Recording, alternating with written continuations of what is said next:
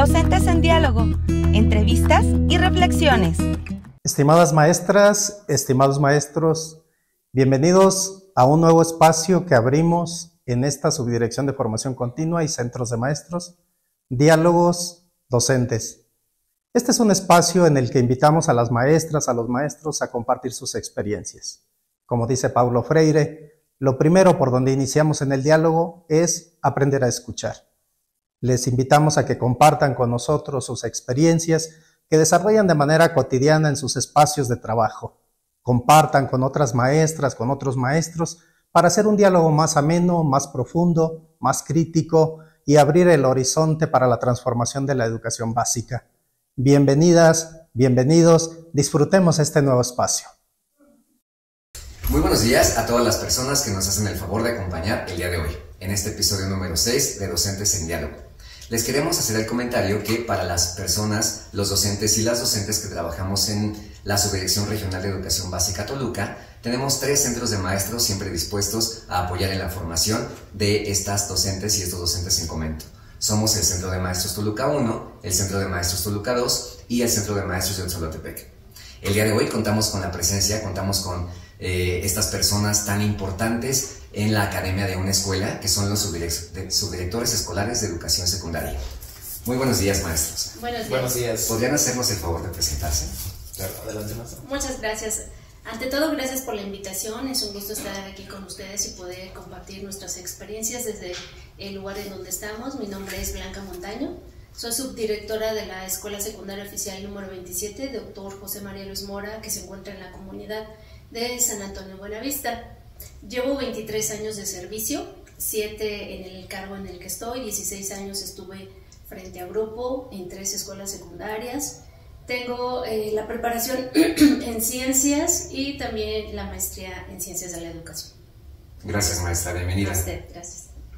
Hola, muy buenos días. Soy el profesor Luis Antonio Aranda Roque, egresado de la Normal de Sultepec, del Estado de México. Tengo 8 años de servicio y actualmente laboro como subdirector académico en la Escuela Secundaria 13 Héroes de Chapultepec en la localidad de Valle del Cambio. Muchas gracias, maestro Luis. Bienvenido y bienvenida, maestra. Gracias. Maestra Blanca, maestro Luis, ¿podrían hacernos favor de comentar un poquito sobre en qué consiste el perfil de egreso de la educación básica y cómo es que la educación secundaria apoya en este perfil? Claro.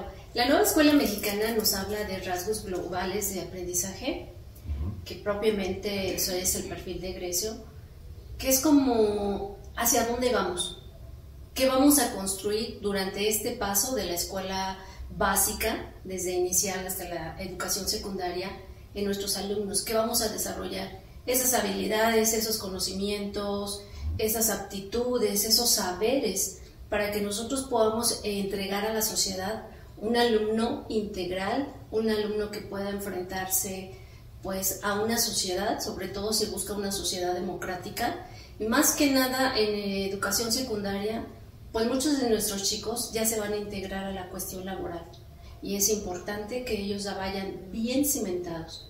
Yo creo que este perfil de egreso nos da una pauta, nos dirige, nos conduce, es un camino de hacia dónde voy. ¿Qué es lo que voy a realizar para poder lograr estos 10 rasgos de la nueva escuela mexicana? Es básicamente para mí eso. Gracias, maestra.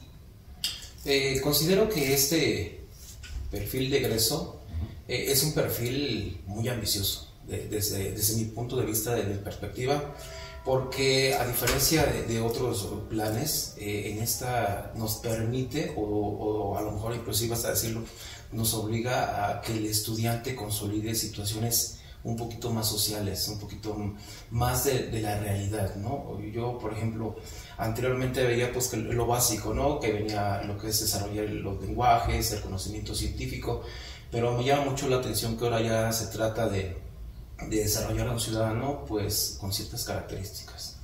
Eh, considero que es una tarea muy ardua para los docentes, no solamente de, de, secundaria, sino de todas las fases, el contribuir. Anteriormente hablábamos de que inclusive había hasta propósitos para la educación secundaria, ¿no? Hoy Hoy se habla de, de un todo y, y, en este sistema pues cada una de las fases tiene que hacer lo propio para que nosotros que somos educación secundaria pues logremos o veamos el resultado de todo este proceso del alumno si es que está consolidando o no el perfil de egreso. Que lo idóneo es que sí lo consolide. Y es una tarea, pues, reitero, no solamente de educación secundaria, sino desde toda una de las fases para que esto pues llegue a la finalidad que es ella. Sí, claro. Y sobre todo creo que es un gran reto para nosotros como docentes, como para nuestros compañeros. Como dice el maestro, es un perfil muy ambicioso. Es la parte humana que habíamos perdido en algún momento porque nos habíamos concentrado demasiado en contenidos y que, conocimientos específicos. Y ahora se nos abre esa posibilidad de la formación humana. Precisamente por cómo está la sociedad de manera actual, pues en la preocupación de crear un ser humano integral, no solamente en el desarrollo de matemáticas 2 más 2 es igual a 4, sino en tu ser y en tu sentir. Porque desarrollando un ser humano integral, obviamente se va a poder adaptar a las cualidades, a las características, hacia donde él vaya, a cualquier sociedad. Y lo que buscamos ahora es una mejor sociedad, que es lo que nos está faltando y nosotros como docentes tenemos ese reto súper especial, no solamente con nuestros alumnos, con nuestros hijos y con las generaciones que vienen. Ok, qué interesante maestra, gracias. Ustedes trabajan eh, para estudiantes, bueno, para docentes y para estudiantes de secundaria. Como tal, ¿qué es la educación secundaria? Pues para empezar es la etapa final de la educación básica, es donde tendríamos que estar consolidando todo ese trayecto formativo que han tenido nuestros chicos desde el preescolar hasta ahora. Ya los tenemos que formar para una sociedad, para integrarlos probablemente a una situación laboral.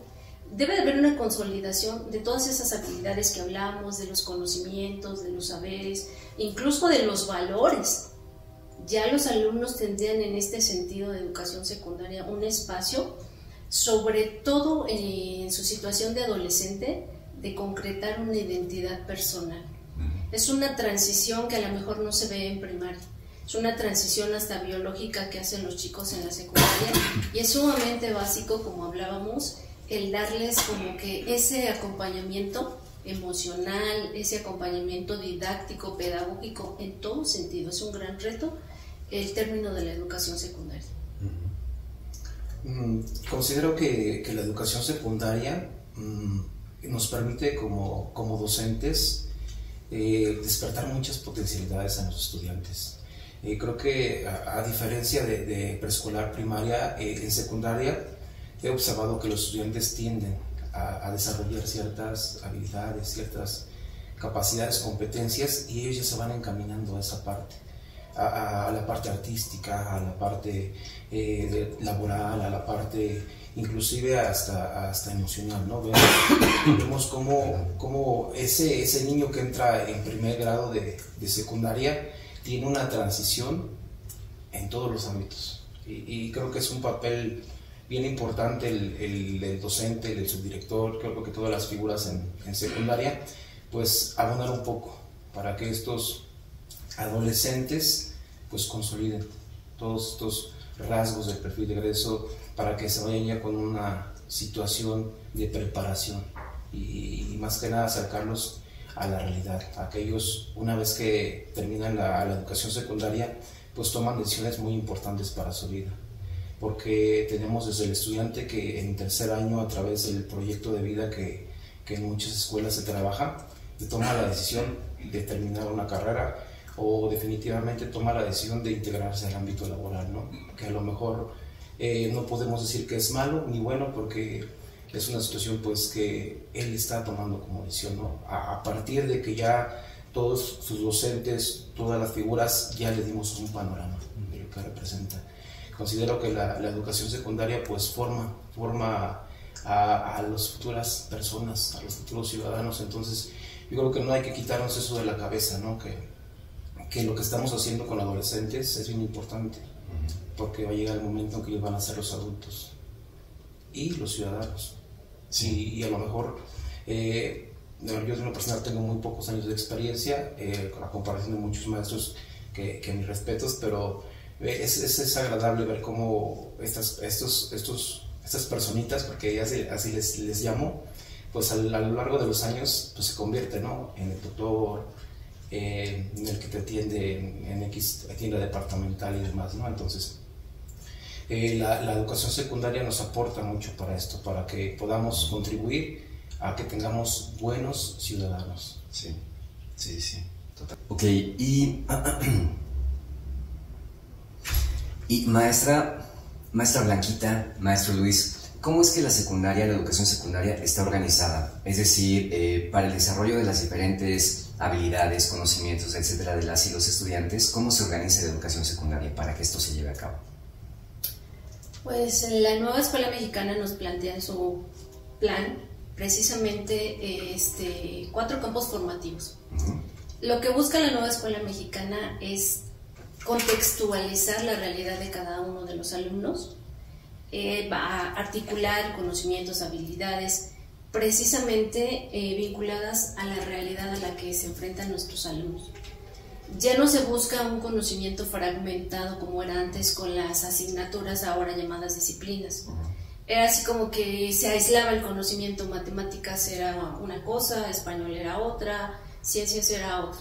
Entonces, a los alumnos les costaba mucho esa vinculación entre conocimientos, sobre todo las matemáticas que ha sido que los nuestros niños y para qué me va a servir, ¿no? Porque no le dábamos un sentido, no aterrizábamos en algo. Entonces, la nueva escuela mexicana nos habla precisamente de esta vinculación que se debe de hacer ahora entre las disciplinas, que ya no la veas de manera distinta, sino que tú veas que cada, cada concepto, cada conocimiento van hacia un solo sentido. Así las matemáticas te van a ser útiles a donde quiera que vayas. Artes, las artes que ahora es la parte humana que se está viendo, las artes también tienen que ver matemáticas, tiene que ver la expresión oral, la expresión escrita, hasta la misma ciencia. Entonces, ya no es el conocimiento ni aislado ni fragmentado.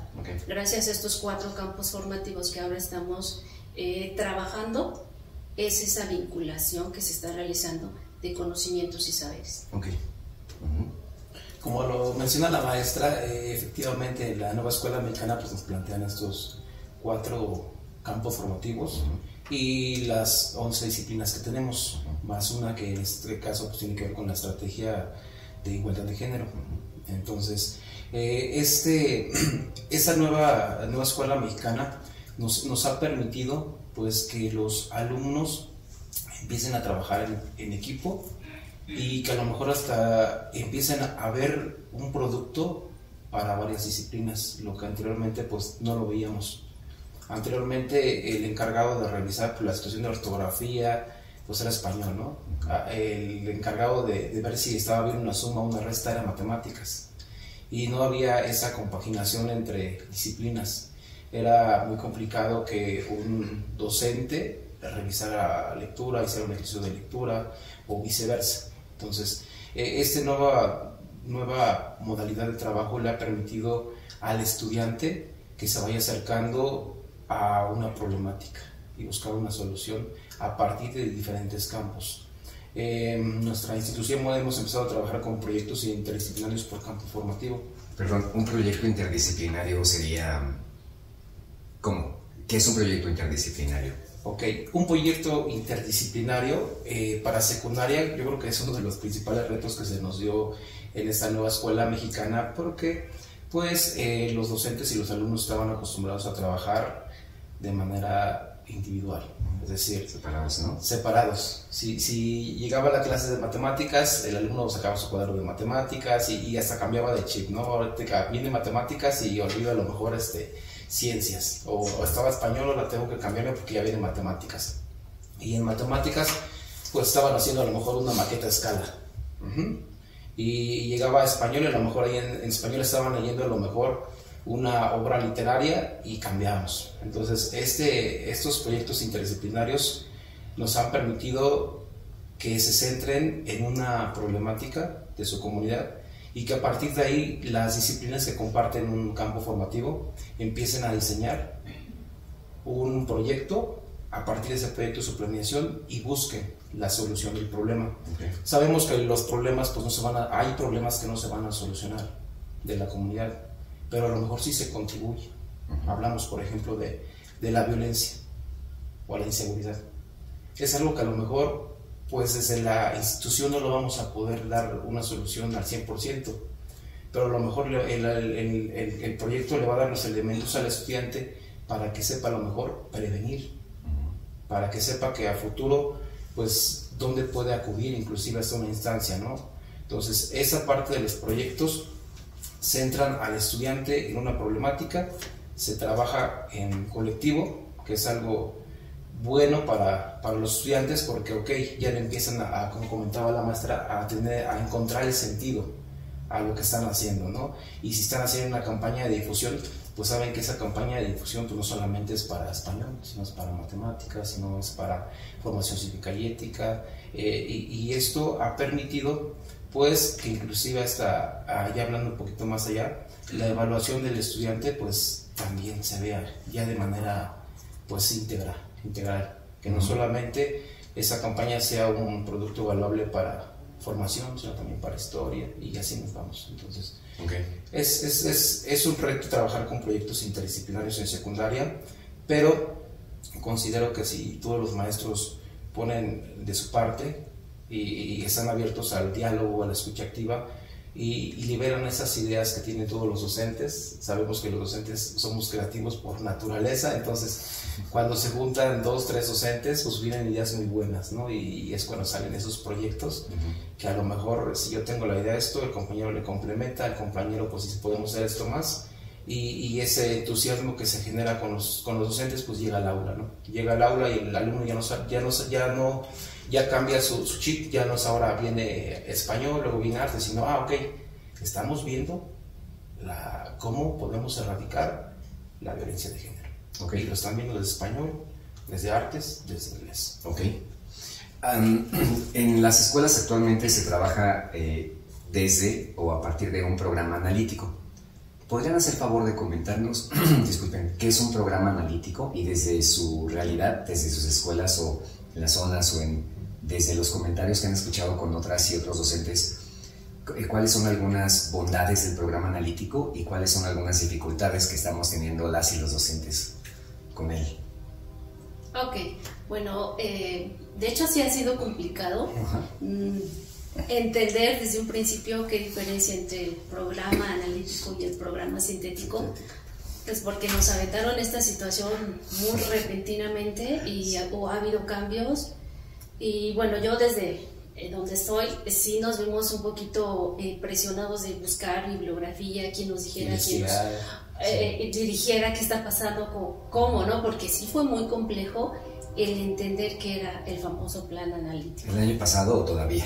No, el año pasado. No, no, ya ahorita pues ya nos vamos a Exacto, es, más a la es otra cosa. ¿Qué es un plan analítico? Pues no es más que un plan personal de cada institución que tiene que adaptarse al contexto que viven los alumnos, porque un plan sintético nos habla de conocimientos generales, pero puede que ese conocimiento no sea eh, relevante o significativo para mi alumno.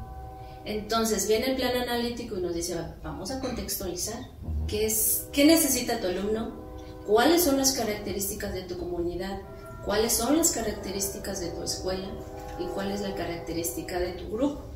Partiendo de ahí, tienes que hacer adecuaciones de los contenidos que ya vienen en un plan sintético. ¿Cuáles han, sido las bondades? Pues hablaba el maestro del trabajo en equipo, el trabajo colaborativo.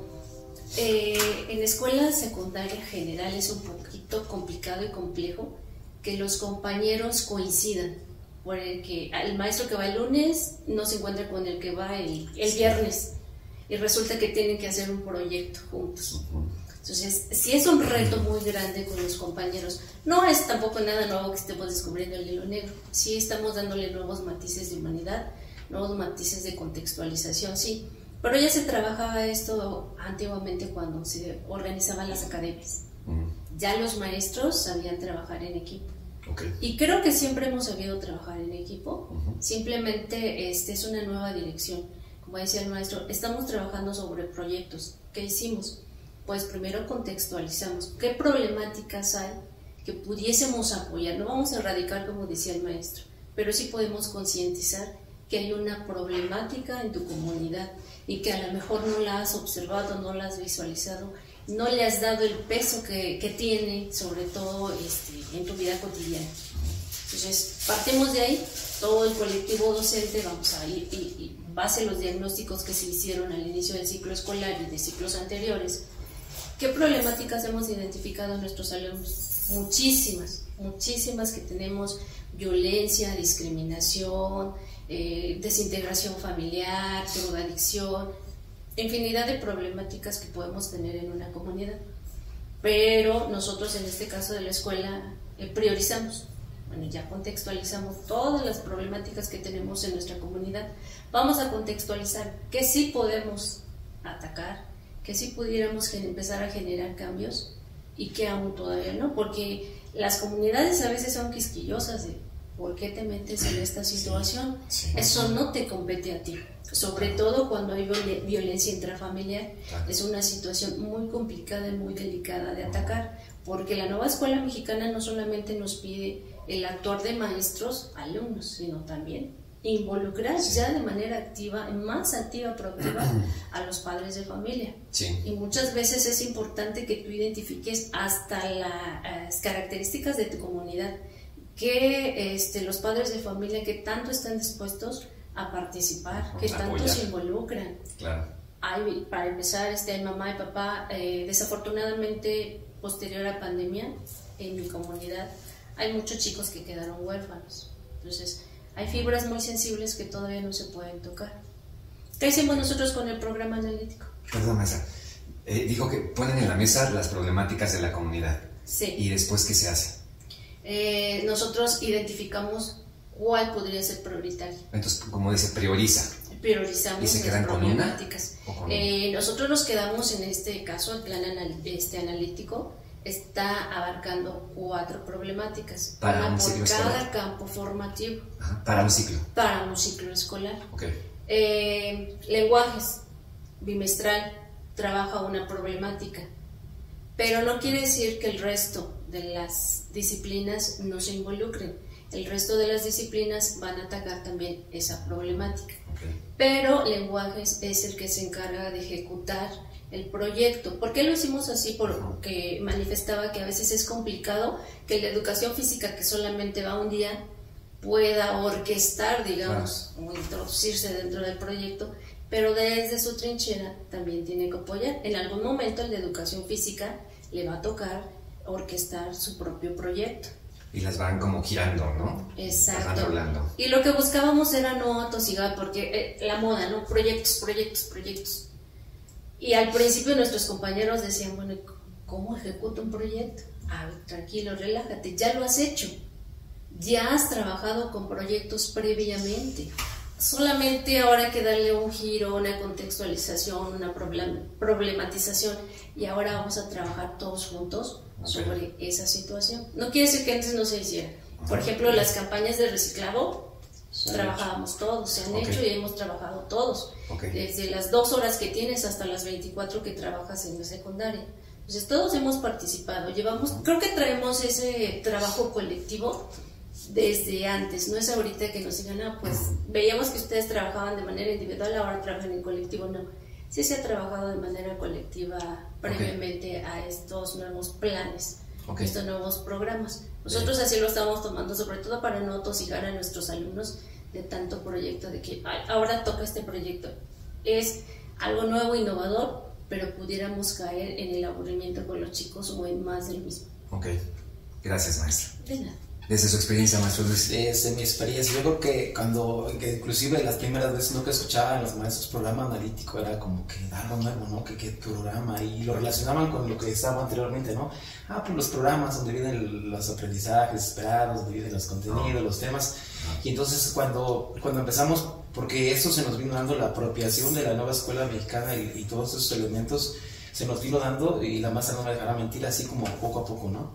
Primero qué es el programa analítico, luego cuál es el proceso para elaboración, luego cuáles son sus ocho elementos base, ¿no? Entonces, el crear un programa analítico, porque eh, efectivamente se empezó a crear desde el ciclo escolar anterior, se empezó con, con la elaboración del diagnóstico, la identificación de las problemáticas, de las necesidades, y, y inclusive se nos dieron un programa sintético pues para ya poder empezar a, a, jugar con él. Yo, yo, lo veo desde esa manera, ¿no? no algo, algo que tiene que ver que, y nuevo, ¿no? Que nos permitieron ahora sí poder pues trabajar con, con esa organización.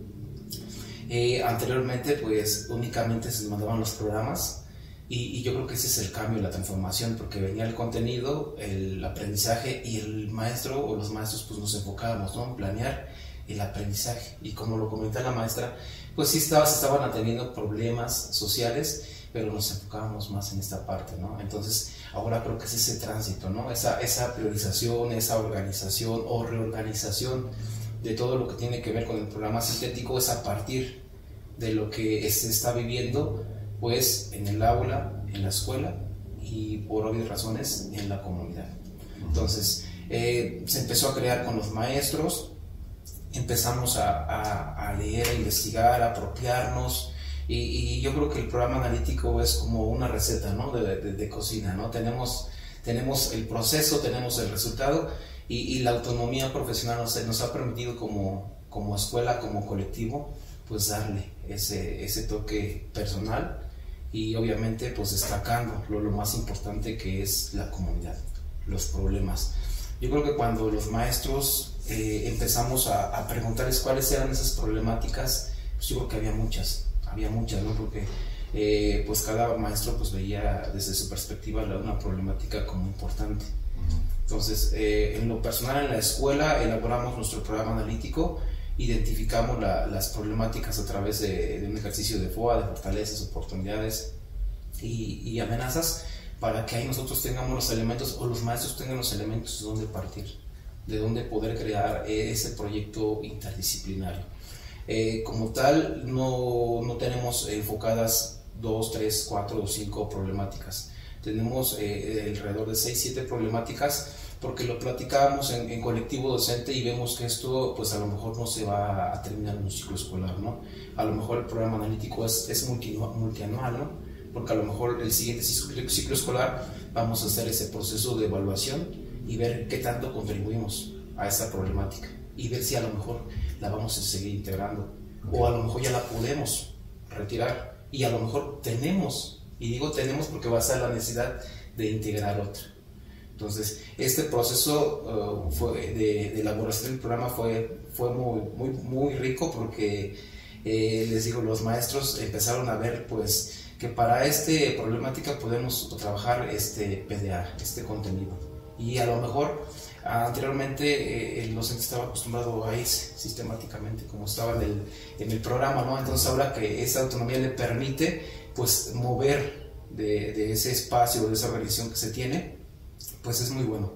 Es muy bueno porque el maestro parte de la problemática y busca con sus compañeros de las otras disciplinas qué PDA porque eso es, eso es bien importante, no solamente es ver la problemática, sino también ya tengo la problemática en la mesa con mis compañeros, pero a ver, tengo que ver qué PDA va a contribuir. No solamente es, ah, voy a colocar este, o ah, este me llama la atención, no, sino que realmente el maestro, que es a partir de su experiencia, de los años de servicio, de su dominio de la disciplina, él va a valorar y va a decir, este es el PDA que debo integrar. La temporalidad de los proyectos, por ejemplo, en la institución, eh, eh, iniciamos con una temporalidad corta. Yo, yo, les comentaba a los maestros, pues hay que iniciar con un proyecto eh, de temporalidad muy corta para ver, para que ustedes puedan pues llevar a la práctica, ¿no? Como un piloto, ¿no? Como un piloto. Entonces, inclusive hasta lo hicimos muy corto. Realmente el proyecto fue de 20, 20 25 días. Pues ni tan corto.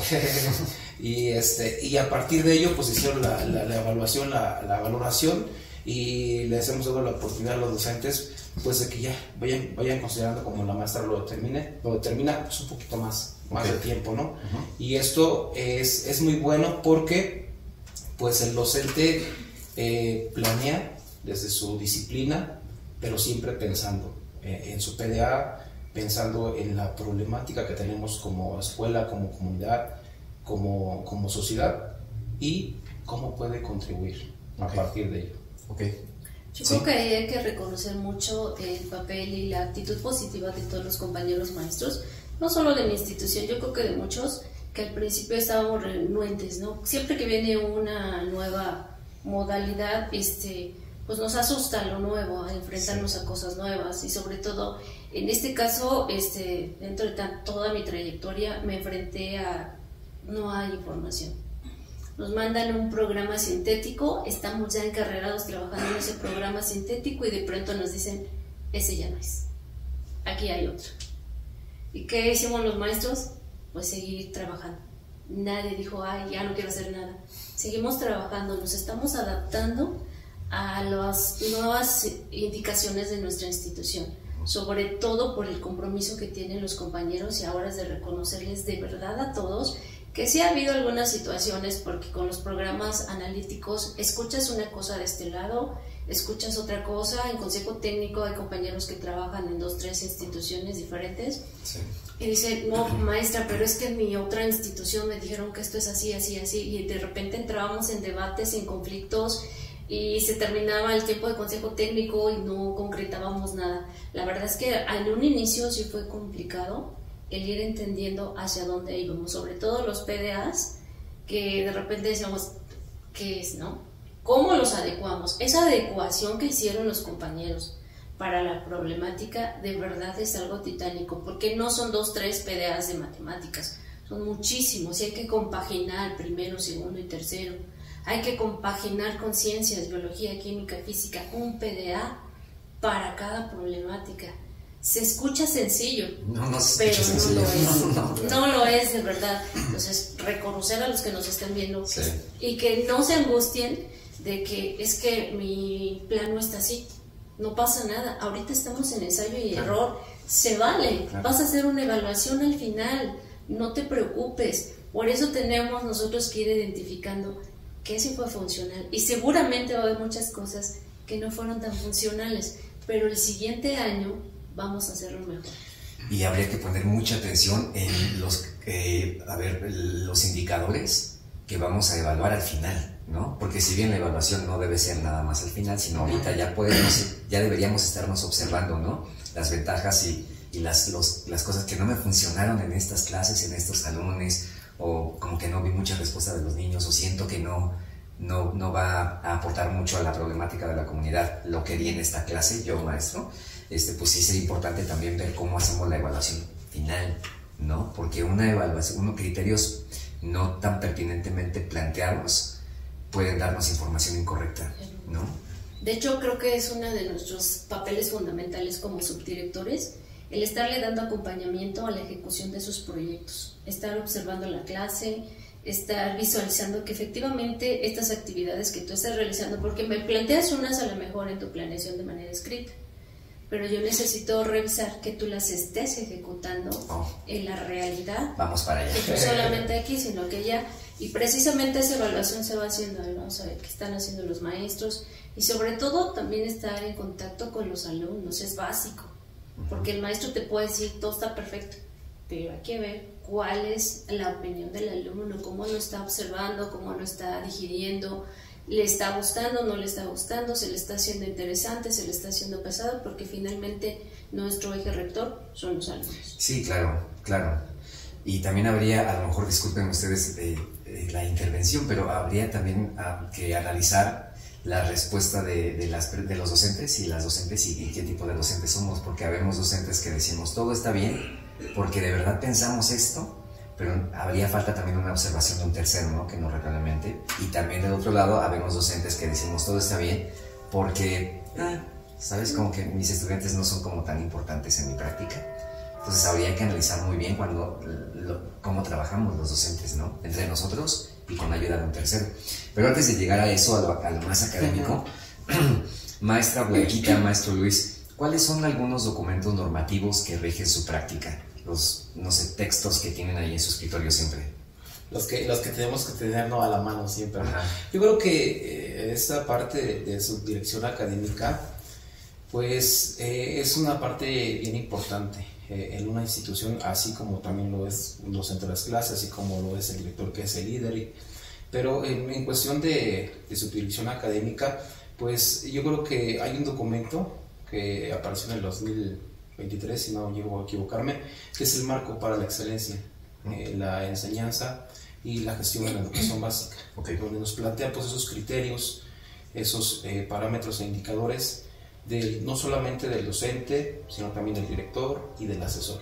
En específico no aparecen del subdirector, pero si, nos, lo podemos ver, consultar, nos podemos dar cuenta pues, que tiene que ver mucho con la parte de la asesoría. Entonces, la, asesoría y también tenemos que revisar pues, lo que es el, perfil del docente. ¿Por qué? Porque nosotros tenemos que orientar, acompañar. Entonces, creo que es un tránsito bien complicado el que tenemos los, directores, porque anteriormente decíamos que, era, que los guiábamos, ¿no? Pero es acompañar. Entonces, no es lo mismo guiar a una persona que, para que llegue a un lugar a que acompañarlo. Acompañarlo es, siempre enfrentar también lo que él está, lo que él está viviendo, ¿no? Esa incertidumbre, eh, esa, esa, situación de que, híjole, ahora qué, qué viene, ¿no? ¿Qué vamos a hacer? ¿Cómo lo vamos a hacer? Entonces, ese acompañamiento, pues eh, lo, tenemos, lo tenemos que hacer. También hay otro documento que es el Acuerdo 98, pues donde nos dice cómo, cómo está organizado y cómo debe de funcionar la, la educación secundaria. En este caso, pues yo trabajo en general y ahí vienen bien específicas las, las, las, situaciones de un subdirector, ¿no? Que son muchas, son muchas, pero yo creo que cuando hay un trabajo colectivo, no solamente de docentes, sino de docentes, de directivo, de subdirector, creo que el trabajo pues rinde frutos, rinde frutos, ¿no? Siempre el trabajar en equipo colaborativamente es muy bueno, entonces pues yo tengo la, la, fortuna de que en el sistema que estoy trabajando, pues cada uno de los docentes tiene ese lado de compromiso. Hay momentos, ¿no? Que a lo mejor, pues algún docente, eh, inclusive hasta de manera personal, hay situaciones pues, que a lo mejor a veces no logramos al 100%, ¿no? Pero yo creo que lo importante aquí es valorar y reconocer. A veces eh, nos cuesta reconocer que nos está haciendo falta algo, ¿no? En nuestra función, entonces Creo que esa es, una parte importante, reconocer qué estoy haciendo bien y a lo mejor qué tengo que mejorar o qué me hace falta. Claro, entonces diagnóstico. Exacto. Gracias, maestro Luis. Pues para los compañeros que van a hacer su promoción, la verdad es que eh, en esta situación hay que manejar muchísimos documentos, desde la Ley General de Educación, los reglamentos, marcos normativos, todo lo que son los protocolos de actuación, muchas situaciones que tú tienes que manejar precisamente como decía el maestro, para darle acompañamiento a los padres de familia, para darle acompañamiento a los alumnos, para darle acompañamiento a los maestros. Acuerdos que te debes, eh, los lees, te los aprendes y luego llega un acuerdo que, que te cambia. Ese acuerdo ya no es, ese ya no tiene vigencia, este nuevo acuerdo. De verdad que son muchos documentos que hay que estar leyendo. Y sobre todo, pues, este, algunas ocasiones hay que enfrentarse a compañeros un poquito renuentes y se les tiene que sustentar. No es que yo lo esté diciendo, es que vamos a sustentártelo porque así está escrito. No es una arbitrariedad la que estamos manejando, sino es algo que está así. Yo, por ejemplo, cuando estaba este, frente a grupo, pues ignoras todo lo que hacen de verdad los directivos. Y a veces tú dices, ay, es que qué malo, ¿no? Porque no me permite esta situación pero ya cuando estás de este lado y empiezas a leer todas estas cuestiones legales y todos esos reglamentos y condiciones que el famoso libro blanco que, que muchos manejamos, ¿no? Es cuando te das cuenta que efectivamente el tener una posición de este lado, en donde tienes que ejecutar para todos, para que todos vayan encaminados hacia un solo sentido, para que haya una disciplina también dentro de la ejecución de los maestros, que lleguen a tiempo, que salgan a tiempo. De verdad es una situación, este, pues satisfactoria sí, porque estás conociendo, porque les apoyas a los compañeros, sobre todo este, para que saquen todos sus potenciales. Ok, muy bien. Y maestra Loquita, maestro Luis, como tal, ¿cuál es la razón de ser de un subdirector, eh, de un subdirector académico de una escuela? En pocas palabras, chiquito, ¿cuál es la razón de ser de un subdirector académico? Pues yo por ahí escuché que somos el corazón de una escuela.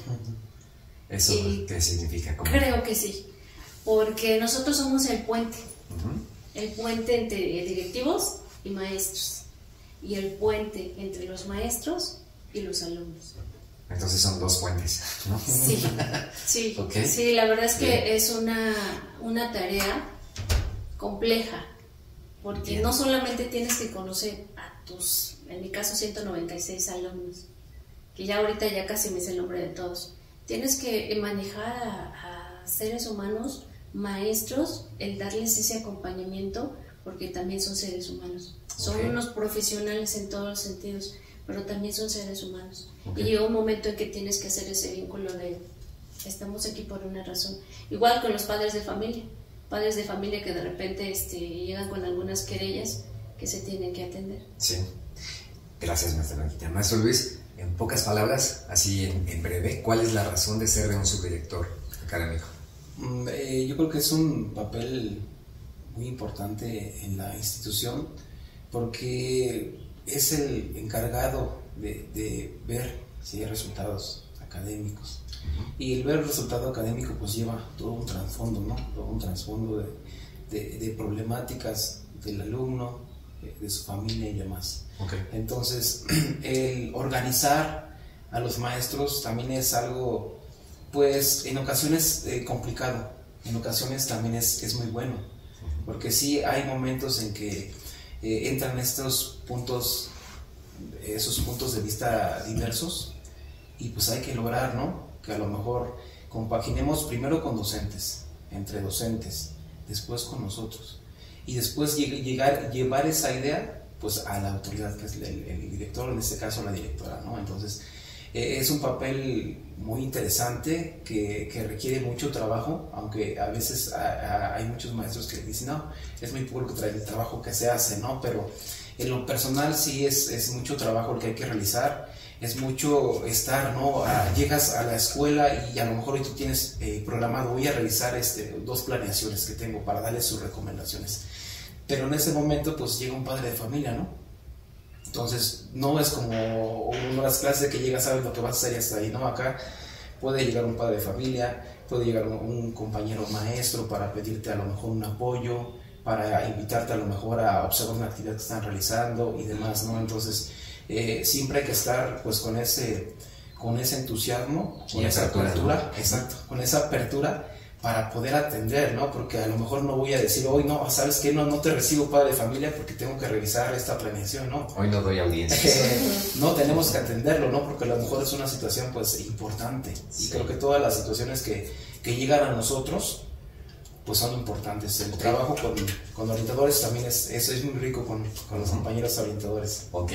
Sí, gracias, maestro Luis. Si pudiéramos enlistar, sin platicarnos de qué, en qué consiste cada, cada uno de ellos, pero si pudiéramos enlistar cuáles son eh, los procedimientos o las funciones que tiene un subdirector académico, ¿cuáles serían las principales y más importantes? El acompañamiento a los docentes. ¿Sería la número uno? Eh, no, yo creo que número uno sería con los alumnos.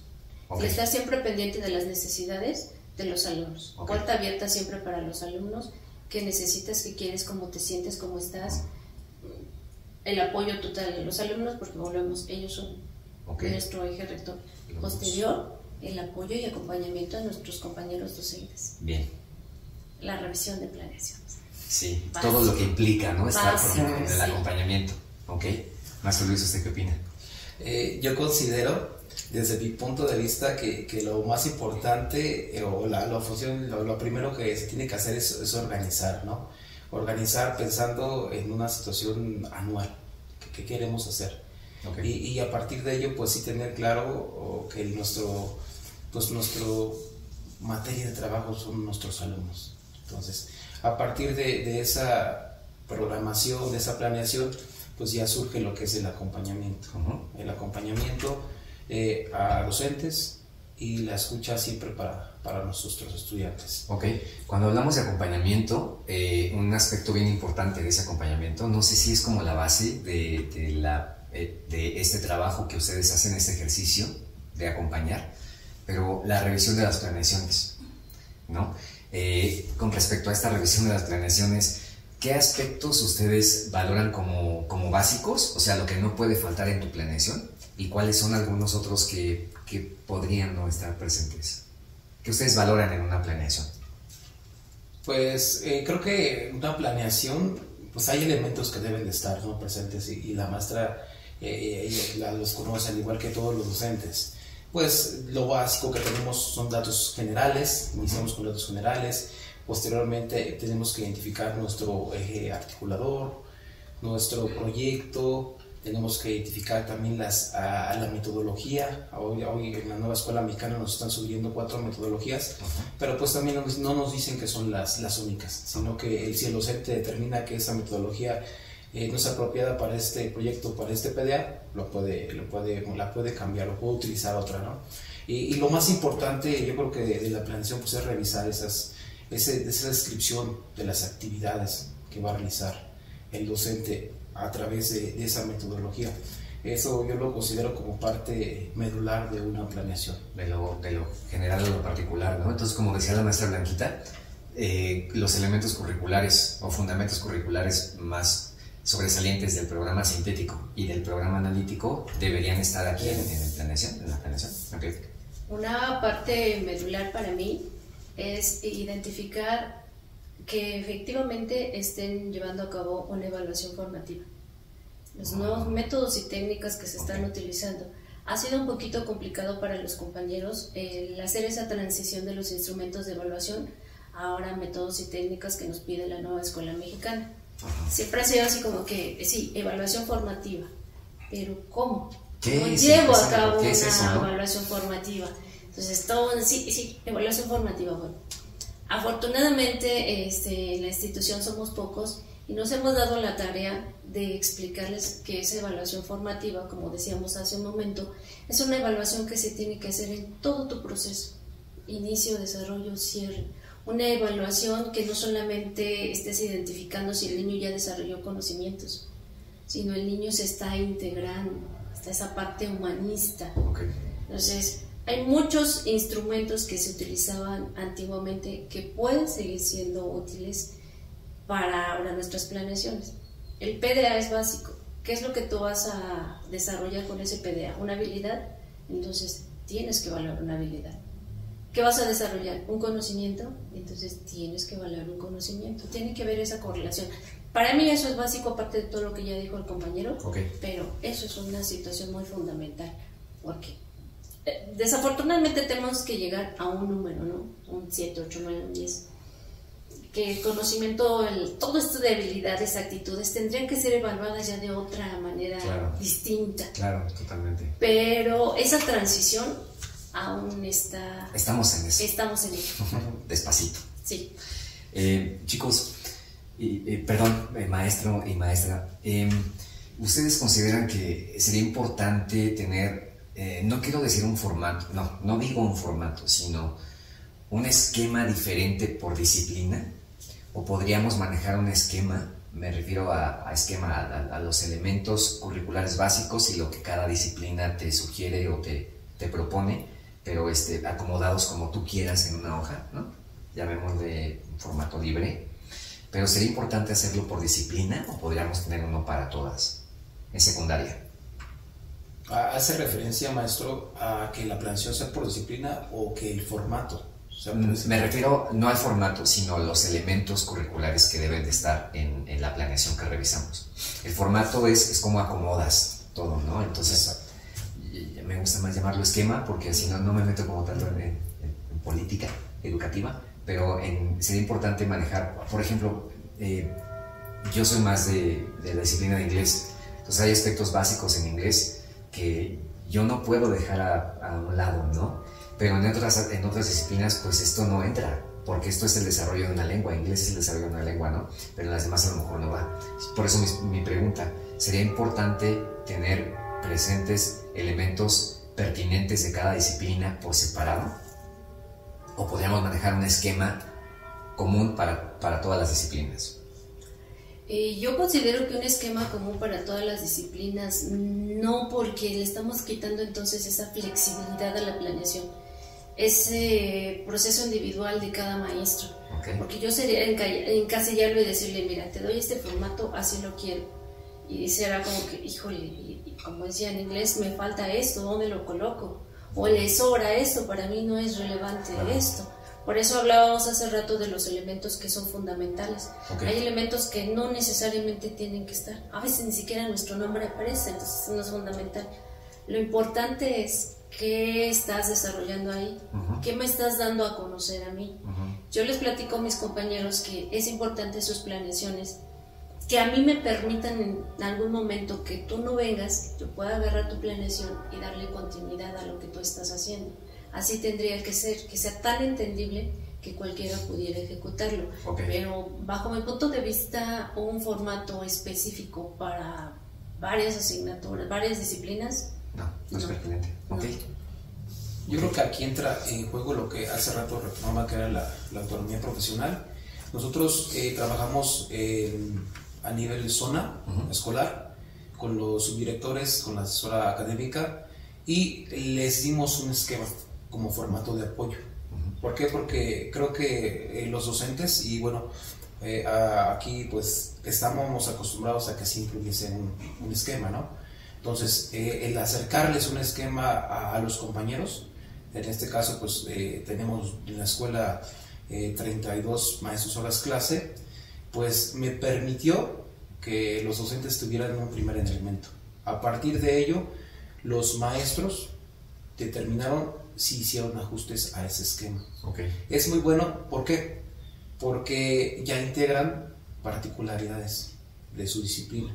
Ya integran a lo mejor un elemento más, a lo mejor quitan este elemento porque no lo consideran apto o propio para su disciplina, pero creo que eso sí les ha permitido. Hay otros elementos, elementos también o apoyos que tenemos, por ejemplo, en la institución contamos con un apoyo de, de la USAER, entonces, eh, el, trabajar con el diseño universal del aprendizaje creo que también es un reto aún, aún mayor, ¿no? Entonces, eh, eh, anteriormente los más estábamos en, duda de cómo lo tenemos que integrar ¿no? a, la, a, la, premiación, vamos a cambiar el formato, cómo va y demás. Entonces, se nos dan las, las asesorías por parte de la USAER y, de, y de manera personal también les acercamos algunos elementos que ellos deben de conocer y ven la forma en la que ellos lo van integrando a ese esquema. Entonces yo creo que eh, a partir de esa nueva escuela mexicana, pues el esquema queda abierto, queda abierto para cada disciplina, porque cada disciplina tiene un PDA que lograr, un contenido que atender y temas en específico, porque lo, de manera muy particular yo he visto que viene el, el PDA y el contenido, pero todavía hay temas que se tienen que integrar a ese contenido. Temas que si hablamos de español, pues hablamos de figuras retóricas, de los géneros literarios, que si hablamos de, de matemáticas, la circunferencia y demás, ¿no? Entonces, esos, esos son los, los pequeños cambios que van realizando los maestros en, en sus esquemas para cuando llega la planeación con nosotros, pues sabemos que no tenemos un, esquema, sino tener, yo por ejemplo en el caso tengo un, un esquema base, pero ya cuando me llegan las planeaciones ya son 22, 23 diferentes, ¿no? Entonces, eh, sabemos que cuentan con los elementos, pero cada uno le coloca sus, sus particularidades, ¿no? Claro. Eh, algo que en algún momento, bueno, eh, sugeríamos a los docentes porque a lo mejor funcionaba, habemos quienes somos muy, quienes lo visual sobresale en nuestras otras formas de, de, aprender y de funcionar en el mundo, ¿no? Entonces, eh, a veces llegas a una escuela, a una subdirección escolar y están todas las paredes como, vacías. Entonces, ¿creen que funcionen para los subdirectores escolares ya que revisas 23 planeaciones de tantas disciplinas diferentes, donde, donde la base es el enfoque o los enfoques, las metodologías ¿no? sugeridas para cada disciplina, que son diferentes? Entonces, sería pertinente tenerlo visual aquí para ti. No sé si te funcionaría no sé, en matemáticas de esto se trata, la, la disciplina, perdón, ¿no? Esto es lo que debo revisar, o ya lo tienes todo aquí.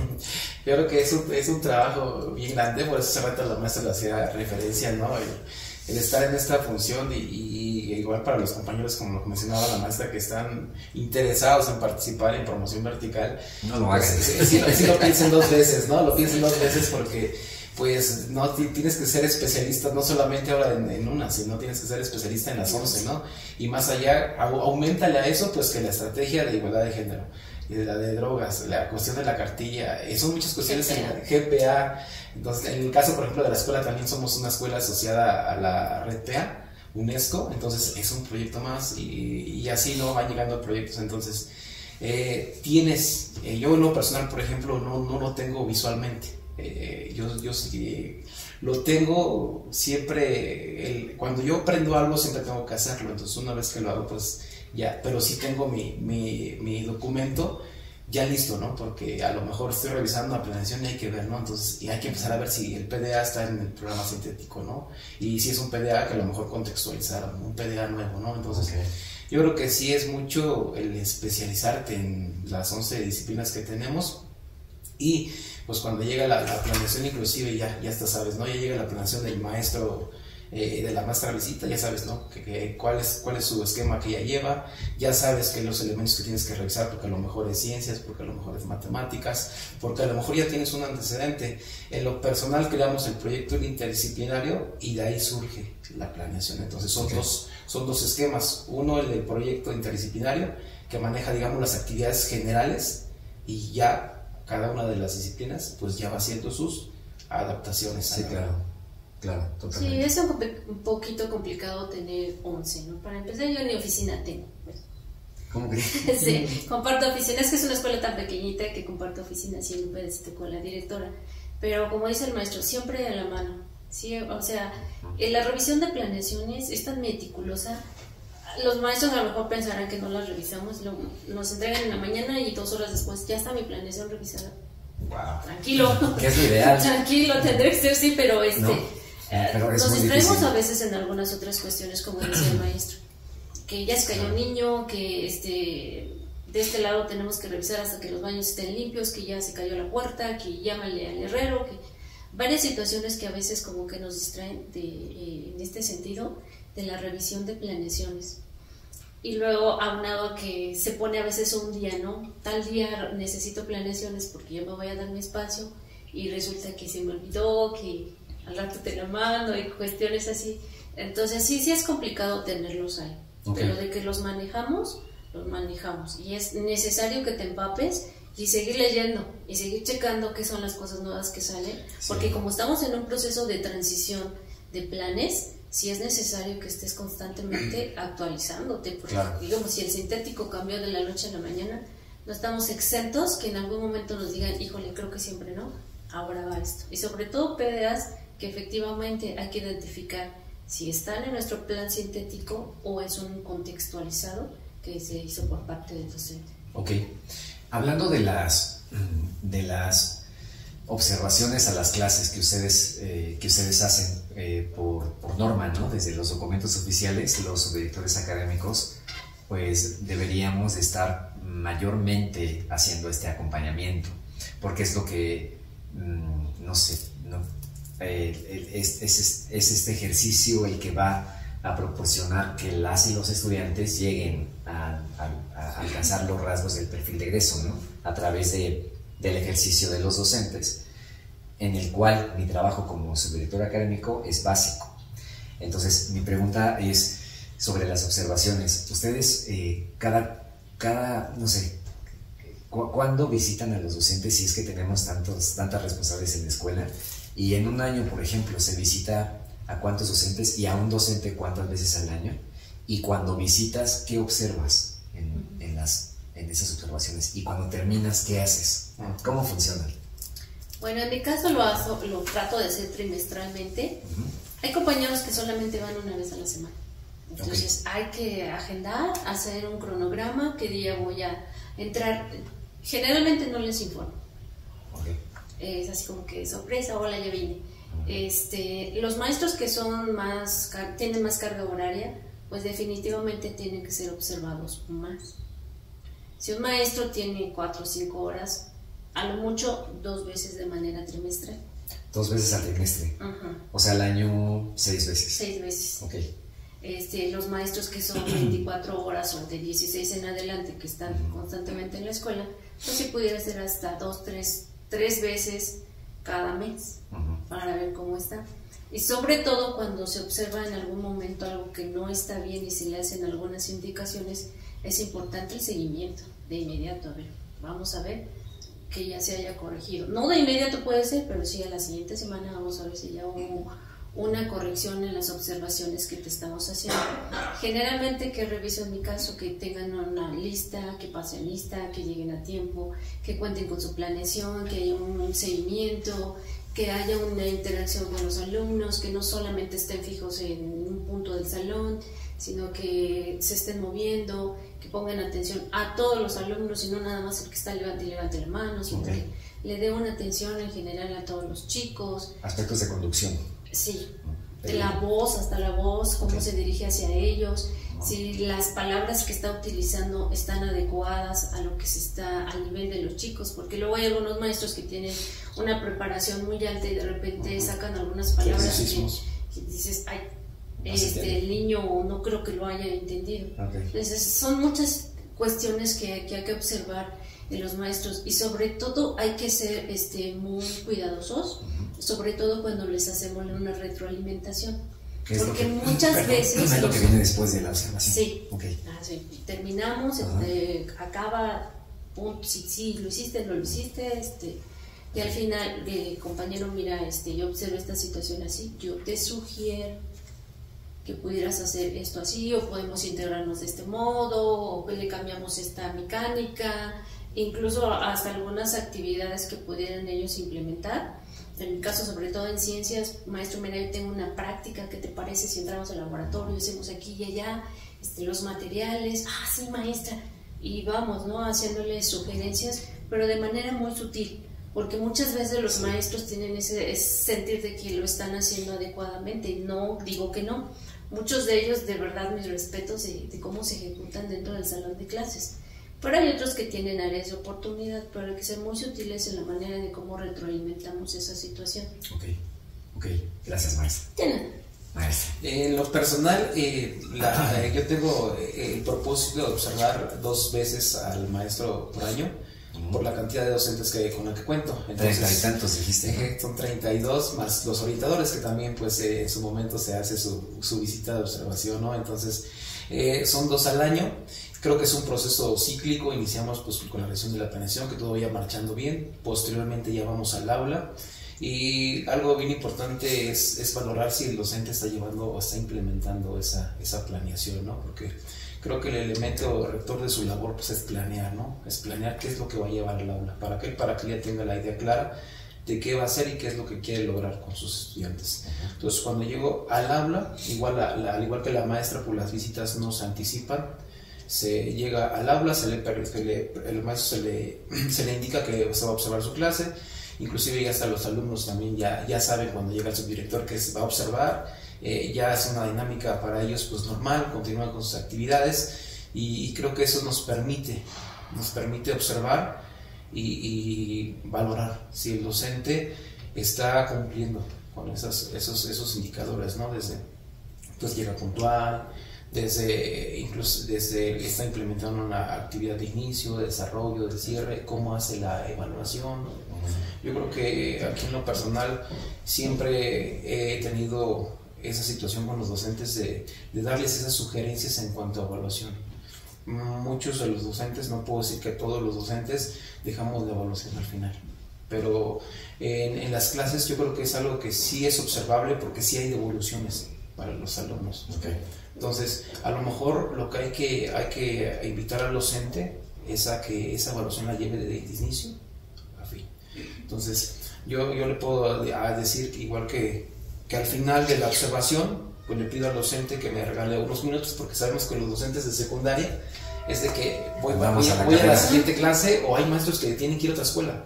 Entonces, a veces también no tenemos por qué afectar el tiempo ¿no? de ellos, porque sabemos que saliendo es correr, porque tengo que llegar a, tales horas a la siguiente escuela. Entonces, yo creo que en lo personal, este momento, aunque es muy, muy corto, muy pequeño hablando de tiempo, pues sí nos permite que el docente reflexione sobre cuestiones que a lo mejor él puede mejorar en beneficio de, los estudiantes. Se hace muy corto, se le dice maestro, eh, derivado de, de esta observación, yo le rescato dos cosas, sus fortalezas y esas oportunidades.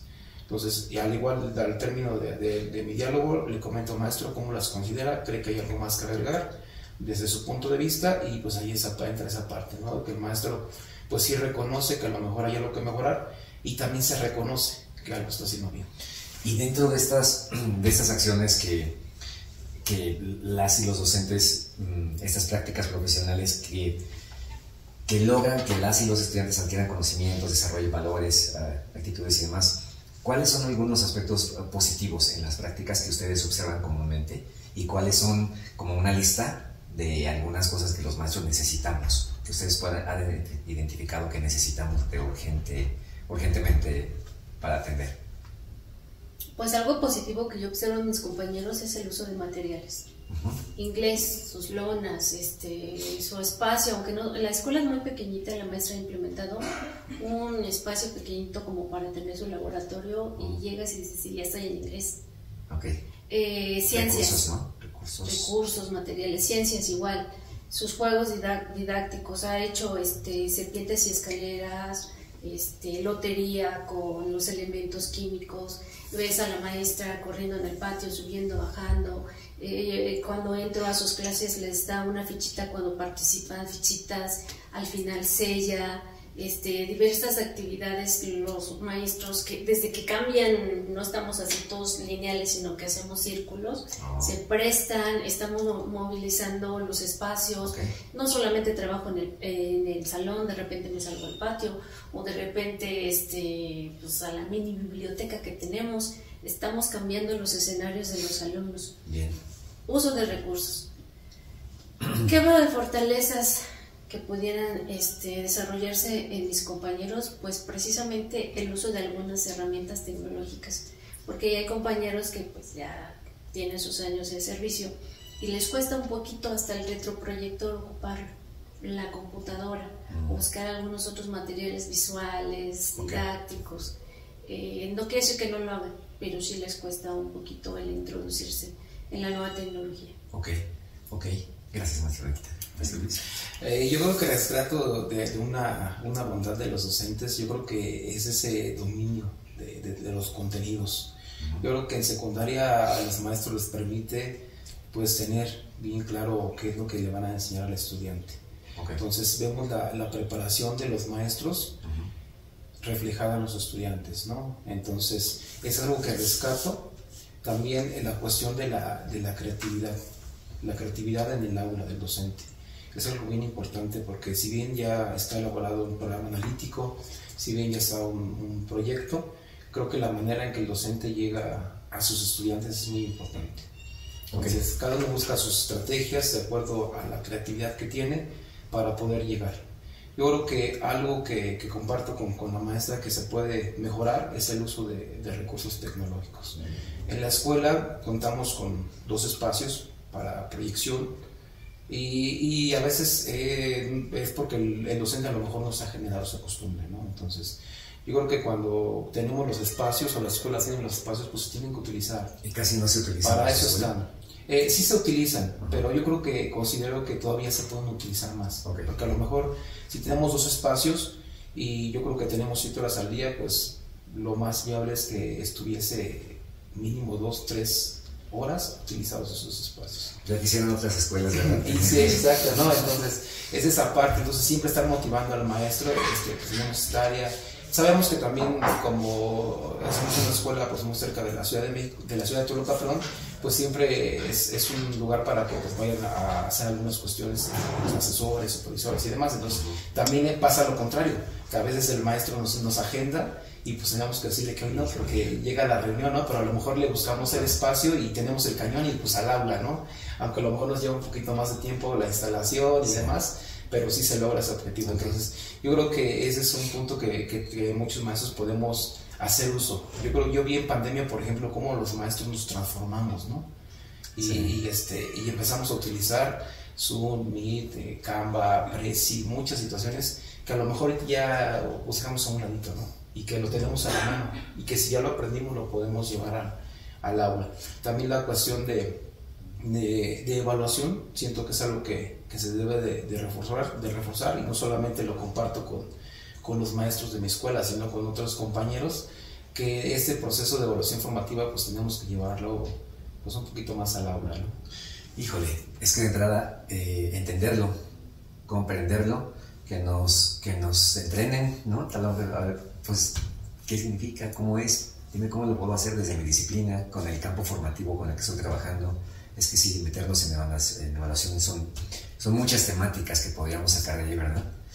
Maestras, maestra, me quita maestro Luis, con respecto, por cuestiones de tiempo, me pido una disculpa, porque está bien buena la plática. Pero estamos en el chisme. Estamos en el chisme. Consejos técnicos. El consejo técnico, eh, como tal, eh, ya no vamos a decir qué es, porque pues ya lo estamos entendiendo bien, parece, pero desde su experiencia, ¿llegan a la meta? Ah, ¿Cuáles son las ventajas que tienen en sus centros escolares?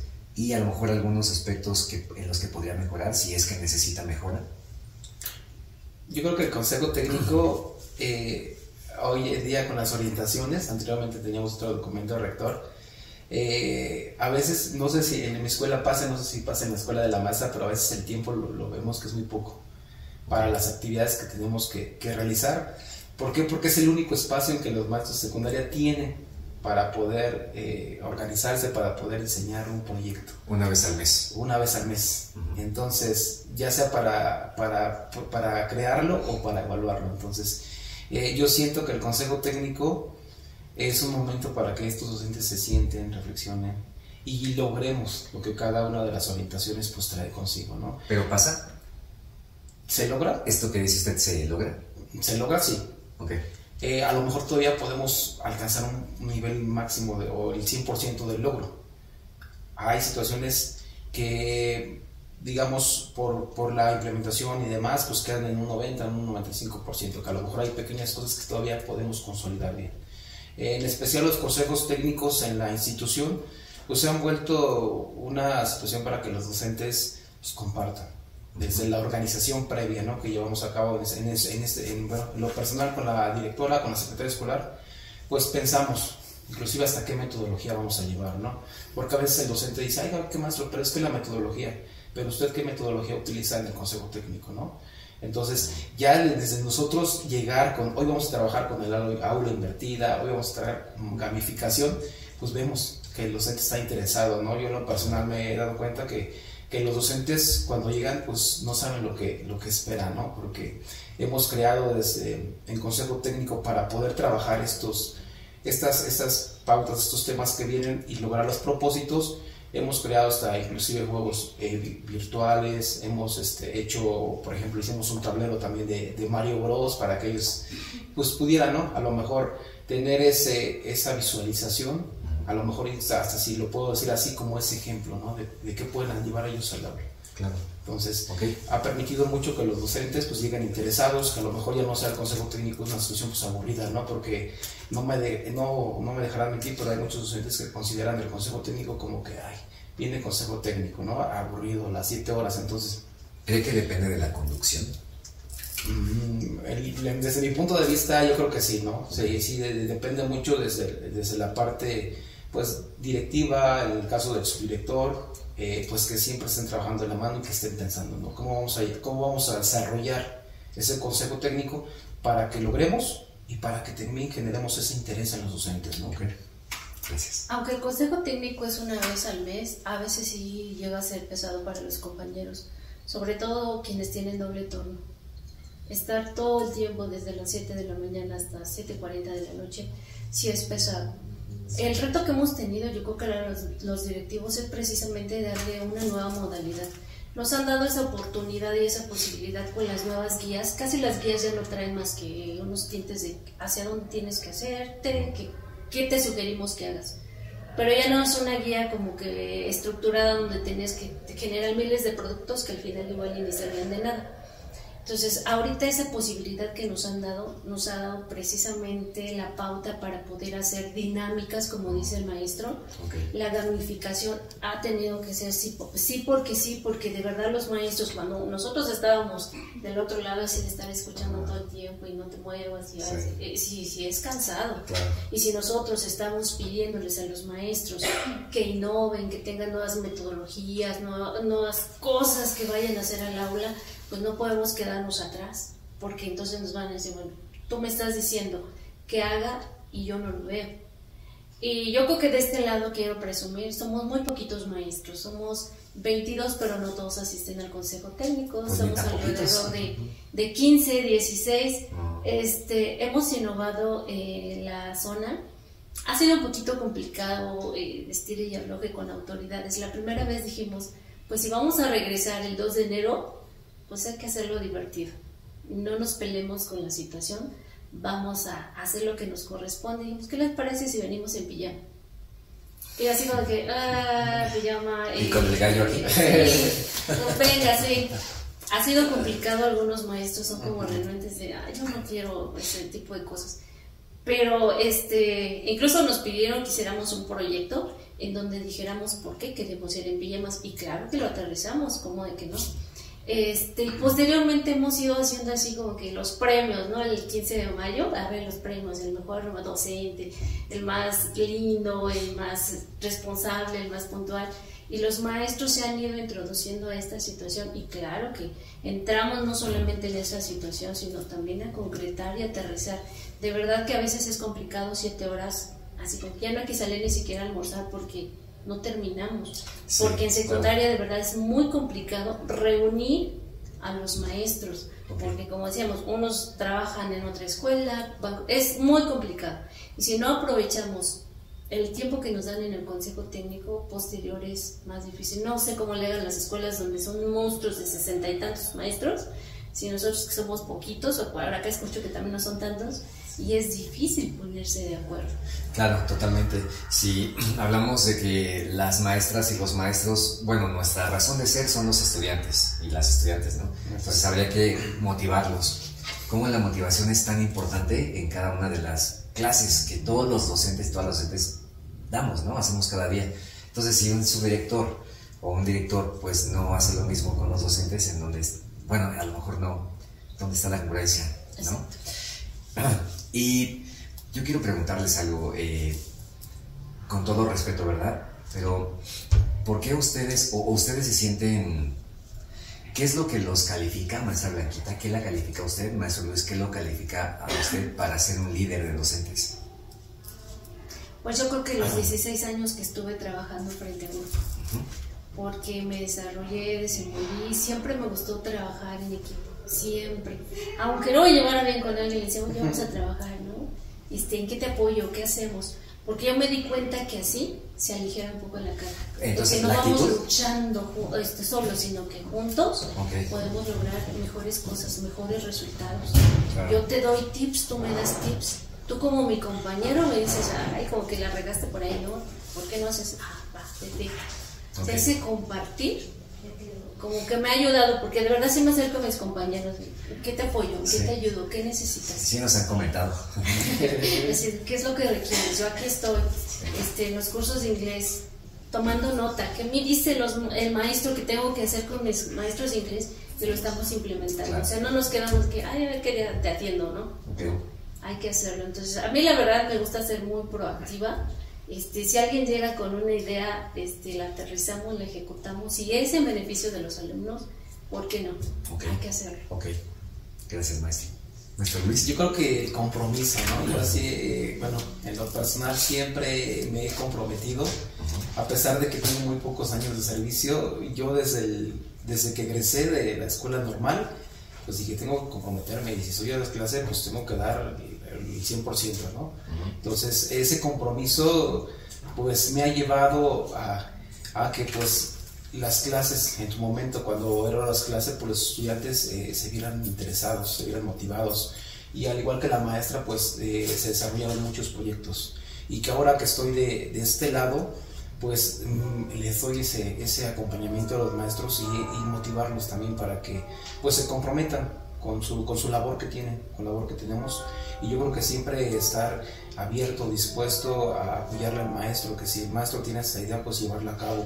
Que si viene algo, algo diferente, pues yo creo que también entrarle, ¿no? Yo creo que esa parte de, de siempre estar dispuesto a aprender, aprender. Yo creo que eh, no, no somos, no lo sabemos todo. Yo creo que siempre aprendemos algo del compañero en cualquier momento estamos aprendiendo. Entonces yo creo que en lo personal siempre el compromiso y estar dispuesto a aprender y pues acompañar a los compañeros. Claro. Y hablando de ese aprendizaje que las subdirectoras y los subdirectores, híjole, es que ustedes son, son la cabeza académica de la escuela, ¿no? O sea, tienen un compromiso mayúsculo. Entonces, ¿ustedes consideran que, que tienen que saber, con todo respeto, no lo digo, tienen que saber más que, que los docentes eh, en cuanto a, en, términos teóricos, epistémicos, metodológicos, y con respecto a, a este conocimiento eh, en esos tres terrenos, pero también en la práctica, ¿cuáles serían algunos, eh, como centros, si los centros de maestros les, preguntara, les preguntáramos a ustedes, sus directores, cuáles serían algunos temas en los que necesitan formación o apoyo como subdirectores? ¿En qué, ¿En qué podríamos apoyarlos? Ay, pues sí requerimos a veces eh, algunos cursos, sobre todo, por ejemplo, en evaluación, que escucho también del maestro que es como que el talón de Aquiles de algunas instituciones. A pesar de que nosotros este, nos damos a la tarea de, en consejos técnicos darnos un espacio para la capacitación o acompañamiento de los maestros, para empezar a ver maestros, este, la evaluación formativa es esto y esto, puedes tomar estas técnicas, eh, a veces como que no concretamos y requieren como que de otra persona decir, a ver, requerimos a alguien más que nos diga lo que tú nos estás diciendo, porque a lo mejor ya la confianza es, ah, bueno, este, sí, la evaluación, lo que es la evaluación. Y otra cosa, estamos hablando de una educación más humanista. Creo que requerimos del centro de maestros. Yo he visto este, cosas muy positivas cuando van algunas personas a tratar la parte espiritual de los, de los maestros. Claro. Digo, este, somos seres humanos, llegamos a la escuela y todo lo que te preocupa queda fuera y te concentras en tus alumnos, en vidas humanas y a veces te olvidas de ti mismo. Entonces, yo creo que eso es también muy relevante para nuestros compañeros maestros. Pocas veces, porque de verdad el tiempo de consejo técnico es, tenemos nosotros que aprovechar hasta el último de los minutos una vez llevamos a una conferencista y sí hubo situaciones que detonaron ahí dices, bueno, a veces le pido a mi compañero maestro que llegue puntual, que sea profesional y de repente, ¿cómo está tu parte personal? Porque igual, si no estás bien emocionalmente, pues ¿qué podemos esperar con los chicos? Somos seres íntegros. Exacto, entonces, yo creo que eso, eso sería importante para mis maestros. De verdad, yo tengo un equipo de trabajo muy bueno, tanto jovencitos como maestros ya, ya grandes con mucha experiencia, pero todos siempre bien este, participativos. Siempre se les propone una cosa así. Siempre, siempre. Afortunadamente, no sé si porque sea una escuela pequeña, no, no me he enfrentado a un monstruo de escuelas que digamos a ver sesenta y tantos maestros pero los que trabajamos de este lado trabajan muy bien los compañeros. Yo creo que la parte emocional tendríamos también que tratarla en cuestión con los maestros. Bien, gracias. Maestro eh, pues bueno, yo quiero agradecer porque tuvimos por ahí la visita del centro de maestros, a lo mejor no fue el uno, pero sí fue el dos. Hicimos una gestión y nos acompañó en una carga administrativa en el ciclo escolar anterior y yo creo que les nutren a los maestros, ¿no? a los docentes. El ver a alguien diferente y de un centro de maestros, yo creo que también les impone a los maestros. ¿no? En ese momento trabajamos esa parte emocional, una plática referente a, la cuestión emocional y a la cuestión de, de, los recursos tecnológicos. Entonces yo creo que el que ustedes estén abiertos al apoyo hacia las escuelas es muy bueno. Considero que, que nos, nos gustaría que se estuviese llevando más a las escuelas la cuestión protocolaria yo creo que ahorita es una parte bien importante que muchos docentes desconocen, un protocolo de actuación. Y, y, a veces yo creo que sí es importante que el docente conozca, porque podemos incurrir en alguna situación pues, que nos puede comprometer de, de, manera legal. Entonces cuando el docente ya tiene bien el proceso a seguir, pues ya mejoramos esa parte, ¿no? y a lo mejor no, no, no caemos en situaciones que, que puedan afectar nuestra, nuestra parte laboral. Entonces, a mí sí me gustaría que lo personal se llevaran un poquito más de, de, estas capacitaciones a las escuelas para que el docente conozca. Yo sé que es una responsabilidad de todos los docentes pues conocer la parte normativa de nuestro, de nuestro trabajo, pero pues no está de más que alguien más se la, se la acerque, se la haga llegar y conozcamos esta parte. Y también con, este, con la maestra comparto pues la cuestión de evaluación. Creo que es un tema muy grande y del cual pues podemos aprender yo creo que entre todos, ¿no? Tanto ustedes como centro de maestros, tanto nosotros como, como escuelas. Claro. Y para terminar, nuestra blanquita, maestro Luis, ¿qué les preocupa de los estudiantes y de las estudiantes de secundaria? De los chicos y chicas que tienen ahorita ustedes en las escuelas, que han tenido y que van a tener. ¿Cuál es su preocupación con respecto a ellos y a ellas? Ay, pues son muchas, porque la realidad es que, que, están enfrentando son muy complicadas. A sus cortas edades ya están viviendo cuestiones que a lo mejor como adultos no podríamos nosotros sobrellevar. Cuestiones muy difíciles, pero que aún así siguen echándole ganas en las escuelas. A mí me preocupa que mis alumnos sean felices. Una vez que ellos sean felices, yo creo que es muy fácil el conocimiento, adquirir el conocimiento, la motivación, este, desarrollar esa habilidad porque está contento en el lugar en donde se está desenvolviendo. Muchas veces nuestras escuelas son refugios para ellos.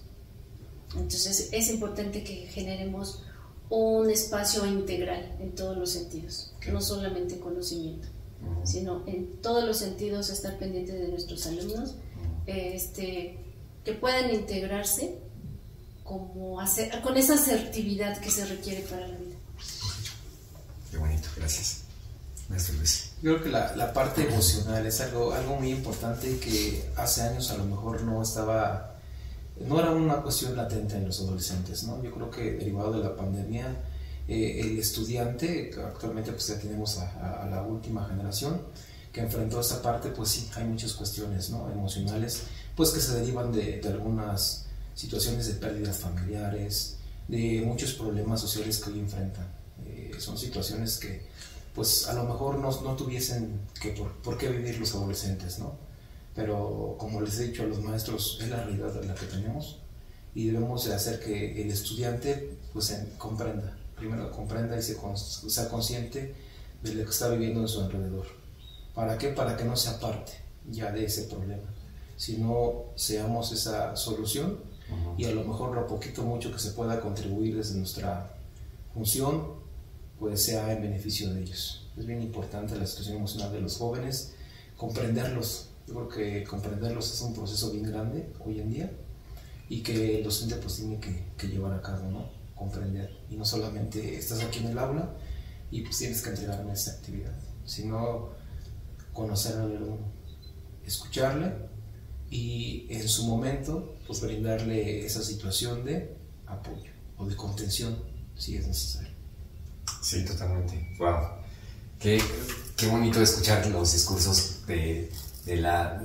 Yo tengo mucho respeto por las subdirectoras y los subdirectores escolares porque me parece que su trabajo es titánico y que efectivamente el trabajo de, de un docente de secundarias eh, puede mejorar muchísimo si tiene, si tiene una persona una persona que, que lo ayude, ¿no? que nos ayude. Todos necesitamos a, a ejemplos en la vida y ustedes son ejemplos para muchas personas en este momento, o sea, en, en el área profesional.